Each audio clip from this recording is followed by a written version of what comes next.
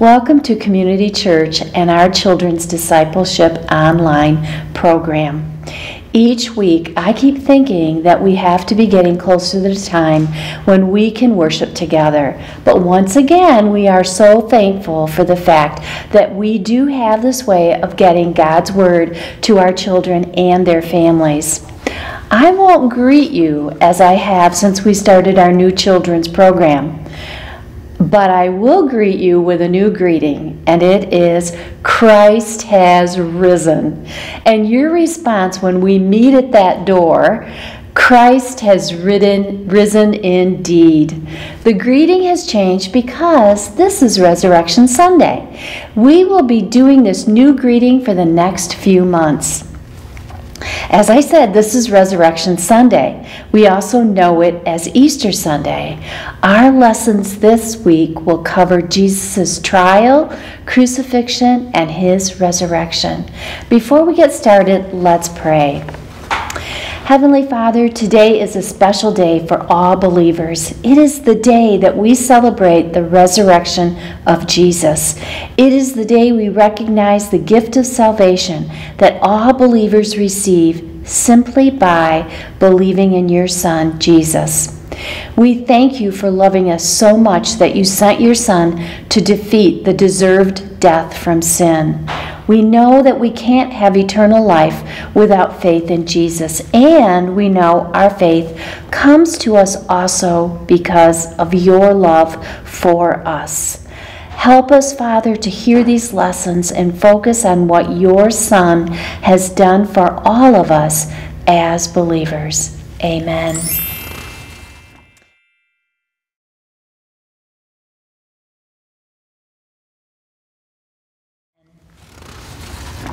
So, scene one is our first story, and it is titled Jesus' Trial.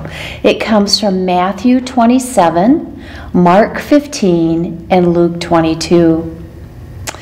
It is morning in Jerusalem. Last night, Jesus was arrested, taken to the house of Caiaphas, the priest, and put on trial. Caiaphas, the chief priests, the scribes, and the elders tried to find Jesus guilty so he could be killed. But they couldn't. And finally, Caiaphas asked, Are you Christ? And Jesus said, I am.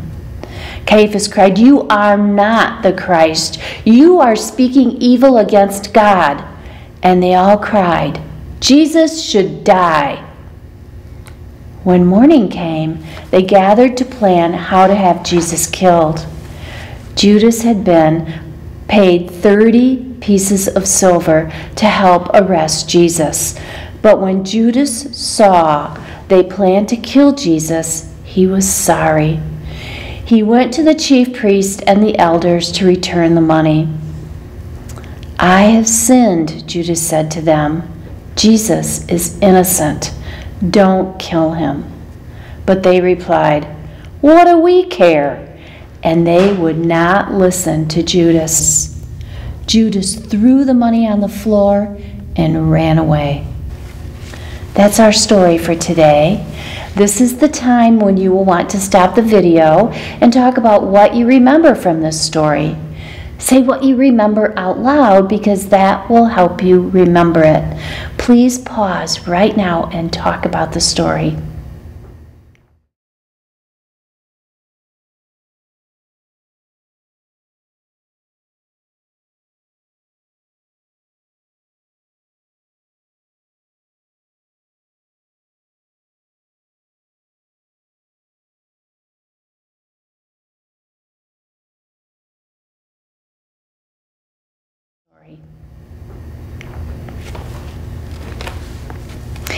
And now we also want you to consider the three regular questions.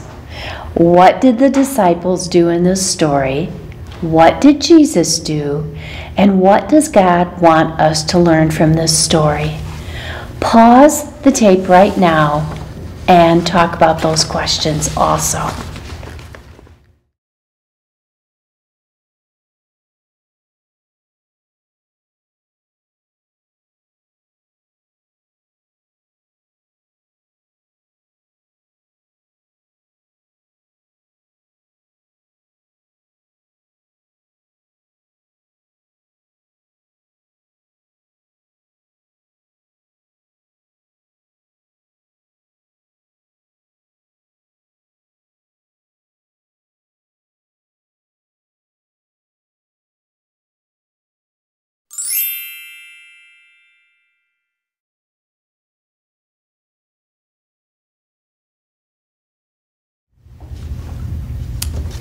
Good morning, boys and girls. It's Miss Sarah back again, and I'm sharing scene two. Our second story comes from the Jesus Storybook Bible, and the title is The Sun Stops Shining. It comes to us from Matthew 27, Mark 15, Luke 23, and John 19. Please listen carefully as the story is read.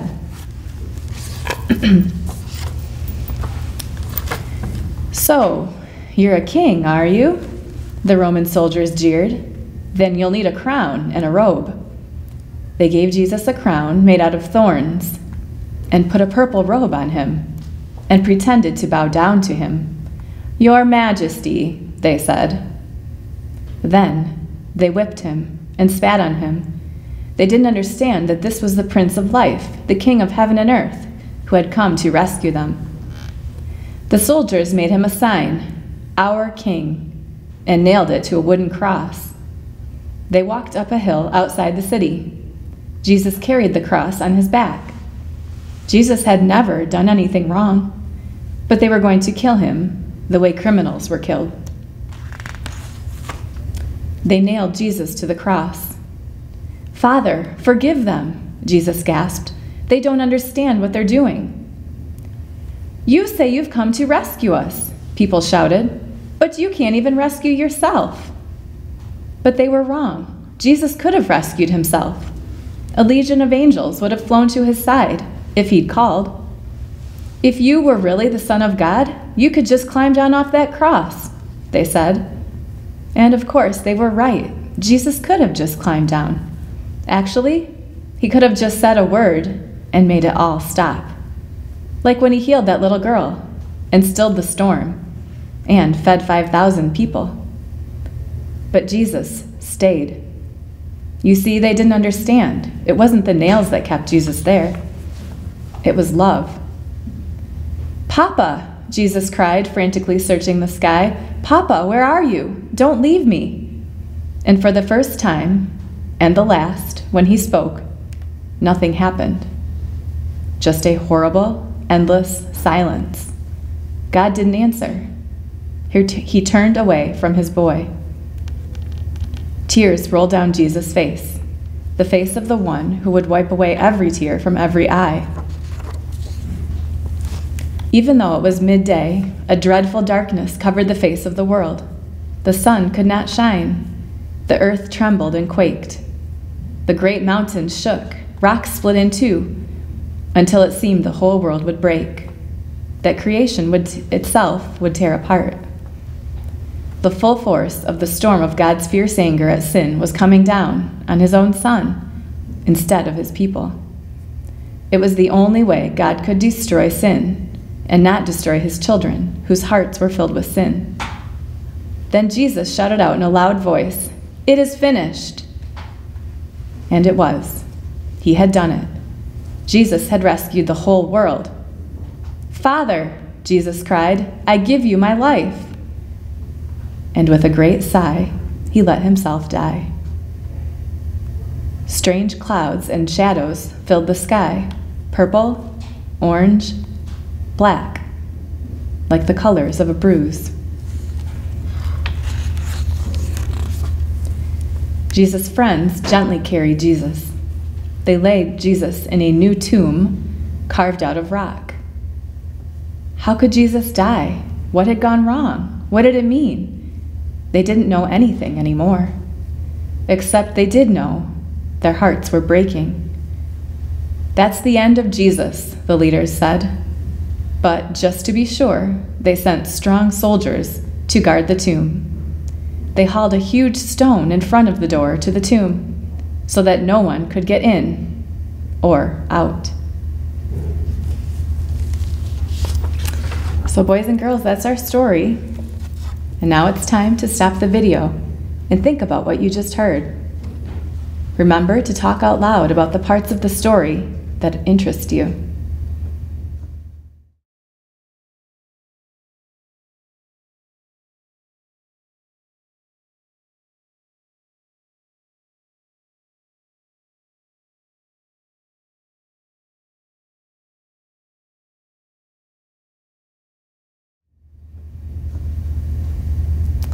Also, think about these questions.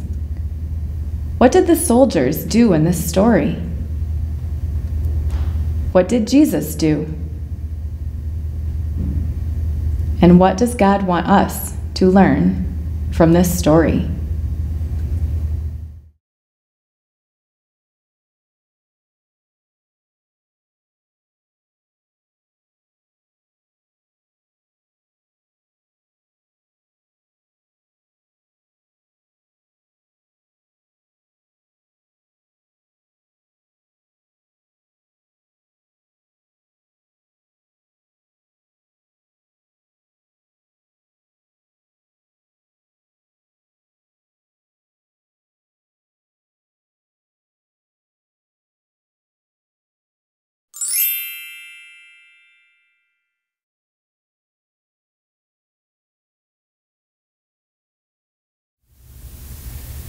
Hello, boys and girls. It's Pastor Brandon again. Happy Resurrection Sunday. Let's practice our new greeting. He is risen, and what do you respond? That's right, He is risen indeed. Now we're going to hear the third scene, which is the resurrection of Jesus, or how God raised Jesus from the dead. If you'd like to use your own Bible, you can find the story in the book of Mark, chapter 16 and verses 1 through 8. Remember, Jesus had died on the cross and was buried in the tomb for three days. When the Sabbath was over, Mary Magdalene, Mary the mother of James, and Salome brought spices so that they might anoint or bless the body of Jesus which was in the tomb. Very early on the first day of the week, that Sunday, just after sunrise, they were on their way to the tomb and they asked each other, Who will roll away the giant stone from the entrance of the tomb? There was a violent earthquake, for an angel of the Lord came down from heaven and going to the tomb, rolled back the stone that covered the entrance and sat on it. The appearance of the angel was like lightning, and his clothes were white as snow. And the guards were so afraid of him that they shook, and they became almost like dead men.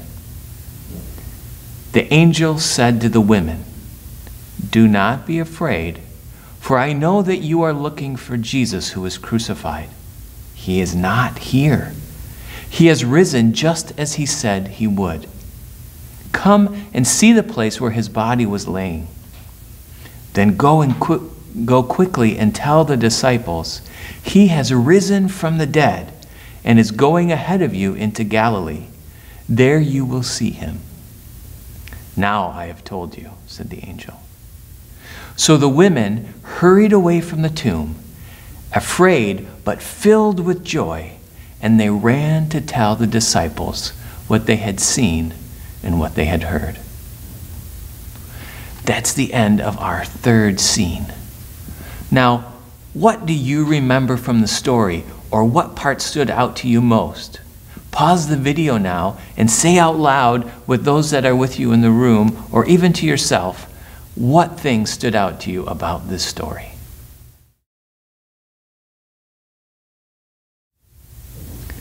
Isn't it fun to discuss and tell the things that we find exciting about God's story? Now let's answer the three questions that we ask uh, that we answer from every story. In this story, what did the women who came to see Jesus' body do? What did Jesus do? And lastly, what does God want us to understand or remember from this story? Always remember when we ask these questions, God and the Holy Spirit is speaking to us. So listen carefully to what you hear, knowing that God wants to share with you something special.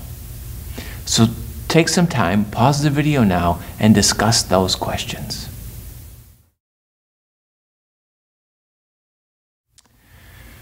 Now it's time to think about your I wonder questions. There are so many things to wonder from this story. I can't wait to hear what you were thinking about when you heard this story. So write those questions down.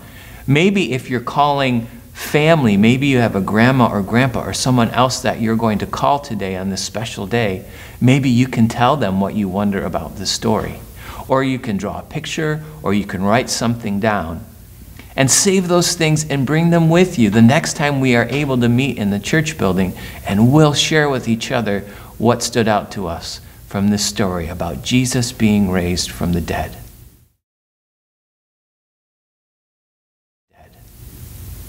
Also, uh, on the website, there are activity sheets that go along with these stories. Make sure that you have a parent, or if you can do it yourself, you can print those sheets and they'll help you think about the story and share the message of it with others. I hope that you have a wonderful Resurrection Sunday and make sure you celebrate the fact that Jesus loved you so much that not only did he die for us, he got raised from the dead which means Jesus' love wins in the end. Happy Easter. Let's pray. Heavenly Father, we are so thankful that you sent your Son to die so that we could be saved. We know our sins don't make us worthy of your love, but we also know you love us and gave your Son over to death so that we could be saved from our sin. Thank you for Resurrection Sunday and for the time we get to spend thinking about all that you have done for us. Help us, Father, to spend more time thinking about you and the gifts that you have given us through your Son. Amen. We want to wish you all a wonderful Resurrection Sunday. This gift given to all believers is the greatest gift we could ever be given. Christ, the perfect Lamb of God, took on our sins so we could have eternal life. We pray that all of you will know that. Christ has risen indeed.